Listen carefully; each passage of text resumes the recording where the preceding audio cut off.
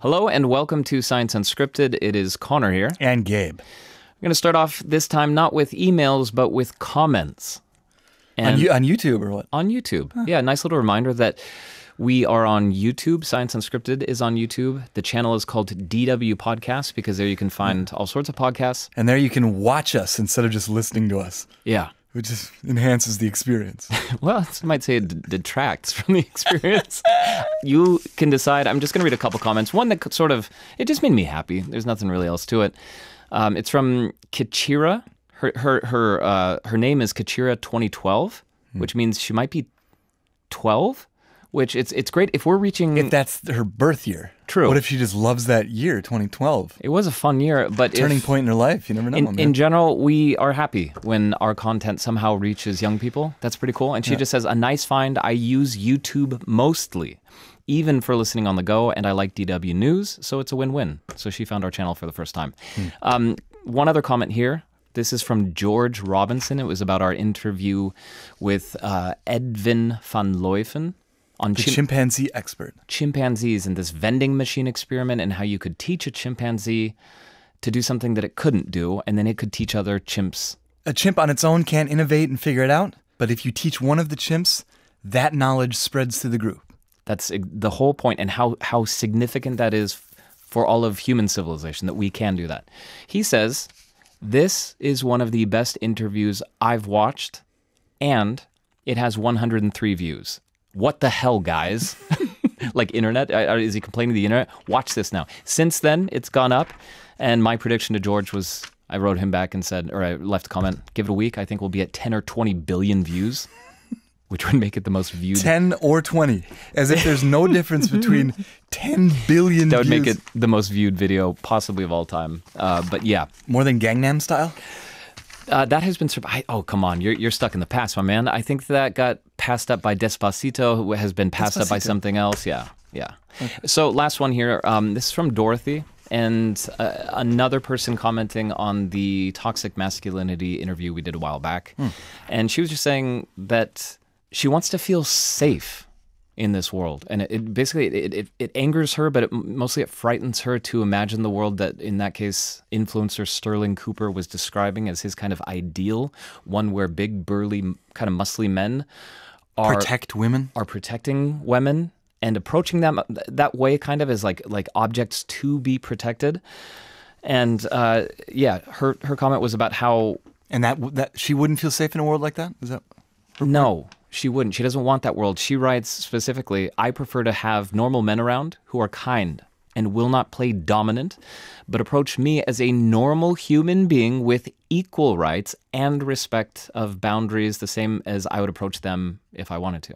and no need of protection necessarily? Yes. So that that connects directly to some of the problematic messages being delivered through or by toxic masculinity influencers. I keep seeing ever since we had that interview, I've seen so many random comments, often from teachers, saying that they're they're sensing this kind these, this messaging coming into the classroom in really young boys. Watch out for that, and um, try to talk to to young people about that. If you have kids, talk to them about how there's a lot of stuff on the internet that is just um, not good. I mean, we all know that. But that, uh, yeah, it's important to treat Or in, peop- in particular, that it can seep its way into into adolescent psychology as very well. quickly, very young, very young. Particularly, that kind of message gets gets around quickly. You've got some science? I got yeah. Um, melatonin is a hormone. Sleep. It yeah, it's that hormone that our body sends out that that puts us to sleep or starts the process of falling asleep. In the morning, you go outside, and melatonin goes down because the sun is out. It's bright. At hmm. night, it goes up and starts that sleep process. This is like a thermometer that when it reaches the top, my body's like, oh, time to go to bed. Yeah, the light goes away, the melatonin goes up. The light comes out and the melatonin, melatonin drops. Right, and a specific kind of light, blue light, short wave frequency light, so that if we are looking at our smartphones, at our screens at night, the melatonin stays down, it's suppressed. There was a study done on this out of the University of Salzburg, and they were they wanted to look at different ways of reading. So they had three different ways of reading, and they looked at two groups: young kids and young adults, so mm-hmm. between 14 and 17 and 18 and 25. Mm-hmm. And they had them read smartphones with one of these blue light filters, so which takes away that shortwave frequency light we were, that we were just Yeah, this about. would be like I would imagine a, a, a, translucent decal type thing that you would put a over. the- warm light. that well, you would you would you would stick the the translucent sticker over your phone's surface, right? Either you do that or you tell your phone and its preferences to to not to make to to be a warmer light. Okay, yeah. Yeah, you can do it that way. And then the third way is by reading a paper book. So you've got smartphone with the filter on. paper book? Yeah, one of those A- a one of those one of those books that you hold in your hand A and what? turn the pages on it. Uh, okay, and they were they wanted to see what happened in these two different groups, so young kids and and adults, young adults. And what happened was in both groups, if you were reading without this filter on, so if you had this blue light getting into you right Mm-hmm. before going to bed, your melatonin went down or was suppressed, right? So you're giving your your body a signal. No, no, no. Don't go to bed. Don't don't start that sleep bed. process. Yeah, Right? It'd be so like in drinking- both groups that happened. you're giving your eyeballs caffeine, right? Yeah. kind of. Yeah, exactly. That is exactly yeah, exactly it. And for the young kids, they were able to recover quickly or more quickly than the than than, than the younger adults than these than these adults. Right? So the older you were, the less you able you were to get that sleep process going, even if you were looking at a smartphone. Right? So the smartphone was worse for you when you were old. And they also put these people into a sleep lab called polysomnography. Wanted to look at, technically at the quality of their sleep. And these older people had worse sleep, less of this restorative deep N3 sleep. And but according to subjective uh, yeah, assessments of their sleep, there was no difference. Oh, see, that's important. So they they both groups thought they slept well, or or as poorly, or as well. Thought there was absolutely no difference, But there was. There was. And by if you extrapolate, the older you get, the more you flood your eyeballs with this blue light, Hmm. possibly the worse your sleep quality is going to be, Yeah. and the stronger the effect that it'll keep you awake when you don't want to be awake. So, tips from this study first of all, just put the phone away at night. I- In the last hour before you go to bed, just don't look at it at all. If you do, put on the blue light filter. If your phone has that function, put it on because it will definitely have an effect on the melatonin levels and probably that will have an effect on the quality of your sleep. If you're saying, I don't care, I'm just going to take a melatonin supplement, um, there was another study, there was work done late last year in the United States. This is melatonin levels in kids, or they wanted to do a survey across the United States to see what percentage of parents were giving their kids melatonin, and it was up to 20%. Wow. In school age kids, even preschoolers, 6% of preschool kids, they're Oh, so this is like like the old stories you hear about uh, rewind 100 150 years ago here's a, here's a dash of whiskey before Yeah. bed here's some opium we there there has been no research done on what mel it's a hormone on what this hormone does to the developing mind right does it get in the way of puberty does it screw with glucose metabolism we don't know do we know now no oh we still don't know. Oh, so parents the survey the survey was just to figure out what what percentage of parents are giving their kids melatonin. It's crazy. One in five kids Mm-hmm. is on melatonin, and one one out of four of those. I mean, this is a lot of numbers, but a quarter of those one in five are taking it every night. so instead of doing that Put your smartphone away. put your smartphone away i'm going to retract a tip that i gave in the past which was to use a smartphone lockbox Because what? You had one and it didn't work? it broke too fast. I, I ordered a cheap one on the internet, and that's my fault. So it, th- that's what I'm retracting. Don't order a cheap one on the internet. Yeah. Uh, Order a device. What it does, you put your phone in it. You set how many hours you want it to be locked away from you, which I cannot explain what a relief that is because you don't need any willpower not to touch your phone. It's gone. That you cannot make a choice. Y- You're not. You're not forcing yourself not to. It's locked up. Except mine isn't locked up anymore. It's because the thing's broken. So You that's. got some science for me? I do. We Um, are limited on time. Our studio tech wants to get out of here. So come Yeah, on, no, make I know. this quick. I know. He's got to catch his train. So uh, I will make this quick. Yeah. Um, I was obviously you and I take a look at a lot of studies every single week. I was stopped in my tracks When? this week. Li- physically? You couldn't, yeah. couldn't move? Or- Yeah, I, I was. I think eight minutes passed before I could even blink. No, the That's issue why you were so weird. the issue was there was a study that came out that seemed to completely contradict a study that you and I not only reported on, but where we got in touch with the researcher from Norway. That study was on sexual norms or perceptions, how we per- how men how men perceive women and how women perceive men when they are sexually active. Do you remember, Gabe, that interview and that uh, this was double standards, wasn't it? sexual double standards? You, and actually, I'm going to quiz you on because you've got a pretty good brain for names. Yeah. Do you remember the researcher's name? Uh, Leif Eric Olesen. Leif. Very close. Leif Edvard Edvard Ottesen Olesen Kennair. Kennair. Yeah. Yes. Okay. So uh, that was the guy we talked to. We're going to go back to him in just a minute here. German study from Saarland, from the south of Germany, came out and said that society. It basically confirmed everything you you already thought. Okay. If you're a man, What did a- I think? What, what most people usually think. If you're a man who has a lot of sexual partners, Yeah. everyone's like, woo, That's fine. That's that, you're a you're a great Good person. on you. Good Ni- way to go, bro. yeah, nice work. If you're a woman, you're viewed you're only viewed more fair, favorably if you have fewer partners, right? That's what society. And I'm thinking that that completely contradicts uh, this this guy we talked to, except that it doesn't. He was referring specifically to Norway, Norwegian society. Not even that. It's it's deeper than that. What this German study did was asked Germans to to to kind of imagine what they thought society would say. And in that sense, they're not necessarily not necessarily wrong because it's very possible that that Extrapolating. Yeah, you're guessing like based on TV shows and people you've talked to how they would judge. Okay. I don't know if that's very important.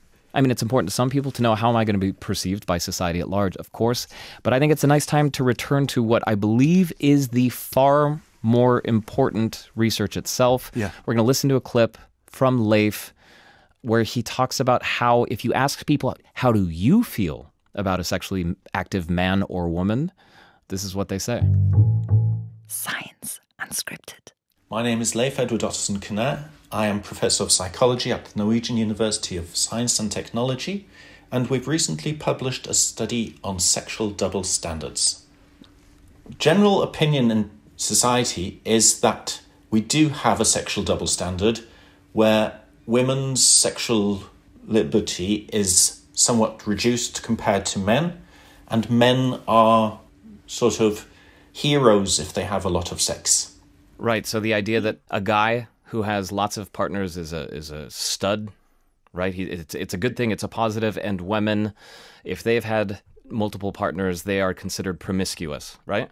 Right. So I suppose promiscuous is is laden somehow, but if one just uses it as a descriptor, promiscuity is then considered positive for males and negative for women. That is the myth in society, or that's what people believe.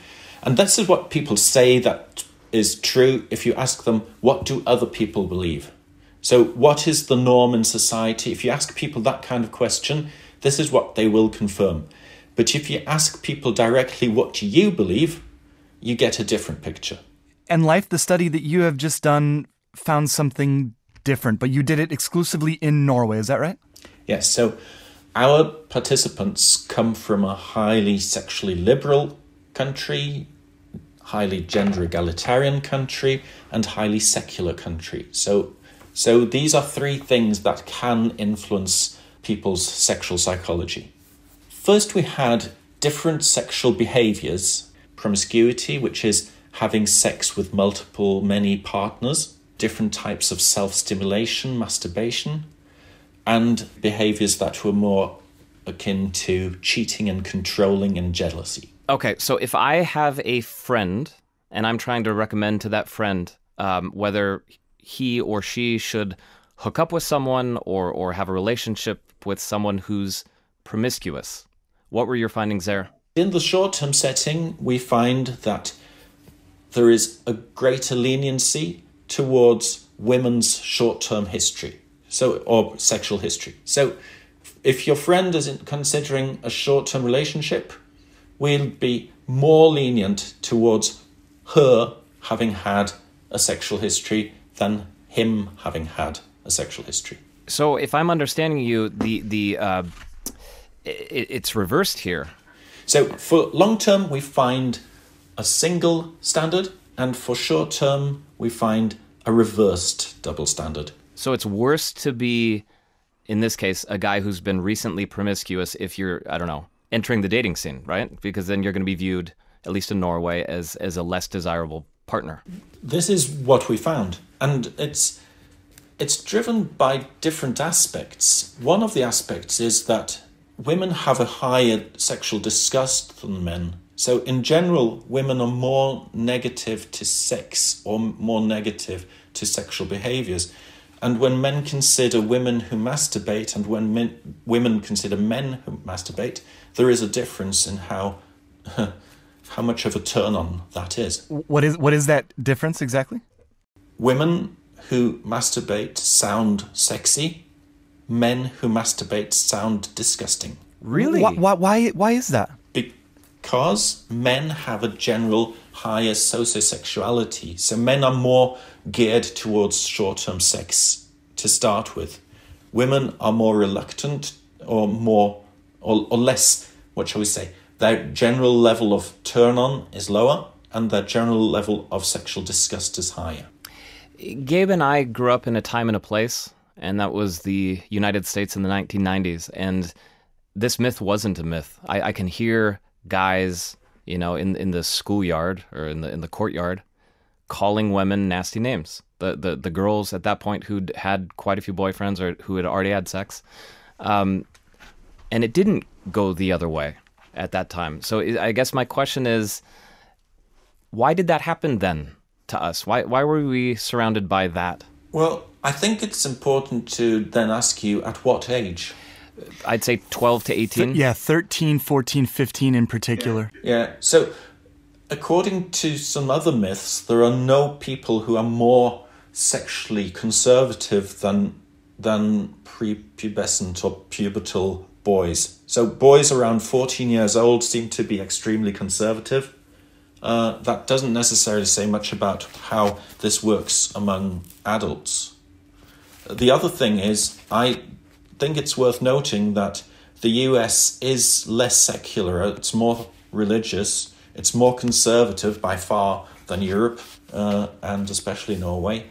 And also, I think in terms of sexual equality, it's uh, also quite far from Norway. And again, that was Leif Edvard Ottesen Kennair talking to us originally from, from Norway and reminding us that at the individual level, we, we don't judge people the same way as we think people judge each other at the societal level. And that uh, for a lot of you out there, if you're in the dating scene, that's, mm-hmm. that's what really counts. Who cares about society? You're, you're sitting across the table from one other person. Yep. That's fundamentally what matters. What do you guys have to say about it? Let us know at su at dw.com. Science.